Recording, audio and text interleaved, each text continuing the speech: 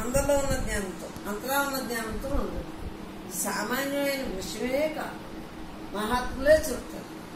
అని పూజ చేసి అభిషేకాలు చేసి ధ్యానం చేసి జపం చేసి ఆ దేవుడి మీదే పెట్టుకుంటారు సాకార భక్తి ఇది నిరాకార భక్తి. నిరాకారాన్ని ఎలా పొందుతావు ఎలా చెప్తావు ఇది బ్రహ్మం. స్వయంభూడుగా బ్రహ్మం చూస్తాను కానీ అది మనం తరం కాదు. మరి అలా వచ్చి బ్రహ్మయుగానికి నిత్య నూతన గ్రంథాలు వెలువడతాయని జాతకంలో ఉంటాయి. సతాపం వేపక అలా రాసేది అని అనుకున్నాను. పొగుడుతా రాసేది అనుకున్నాను. ఇలా జరుగుతాయని నేను అనుకున్నాను. నేనంటే నేను నేను అనుకున్నాను అసలు నేను అప్పుడు తెలియదు కదా చిన్నప్పుడు. ఎప్పుడు దేహం నేను కాదు నేను ఆత్మని తెలిసాక తెలిసింది అసలు నేను.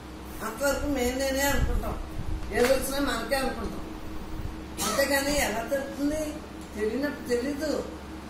ఒక్కటే. మరి మనం భక్తితోటే ఉన్నాం. పాటలు పద్యాలు పాడడం అన్నీ భక్తితో అనుసంధానం అవుతుంటేనే జ్ఞానంలో ఎంటర్ అయిపోయాం అది కూడా నమ్మ పరిస్థితి బాగుండాలి.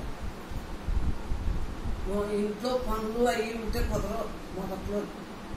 నాకు వంట పని ఏమి లేక మొదట్లోని కుదిరింది. ఆ ధ్యానాలకు అయ్యింది మూడేసి గంటలు పూజ తెగ తిట్టేస్తుంది మా అమ్మ. పిల్లలు వదిలేసి మంచి చేశారు మరి ఏంటి? ఆ టైంలో అక్కడ ఆ పనులు లేవు కాబట్టి ఈ దేహంగా బ్రహ్మంగా ఉంటాను కుదిరింది. ఇప్పుడు పని చేసినా రెండు ఎట్ ఎ టైం చేయగలుగుతుంది జీవించుండగా జీవన్ముక్తికి ఆ వయసులో పని లేపట్టడం అదృష్టం. పని లేకుండా ఉంటే ఇరవై నాలుగు గంటలు ఆ బోర్డు దేవుడిని తలపెట్టుకుంటూ ఉండేవాళ్ళం కదా? ఈ దేవుడు కోపం వస్తుంది ఆ దేవుడు కోపం వస్తుంది అనుకుంటూ ఉంటాం. అప్పుడు నేనే బ్రహ్మని తెలియదు ఇక దేహం నేను కాదు నేను ఆత్మన్నా అమ్మా ఒకసారి దేవి తెలిసేదు.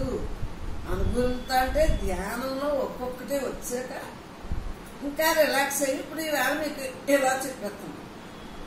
అంతేగాని ఆ తత్వ విచారణ మేము చెప్పాము.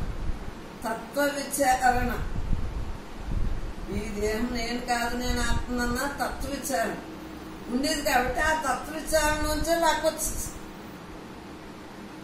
తత్వ విచారణ మరీ ఎక్కువ ఉన్నా ఫెయిల్యూర్ అయిపోతుంది ఇరవై నాలుగు గంటలు తత్వ విచారణతో ఉంటే నువ్వు ఎప్పుడు అనుకుంటావు? విచారణ తత్వ. నీ తత్వాన్ని నువ్వు తెలుసు విచారించు ఆలోచించు.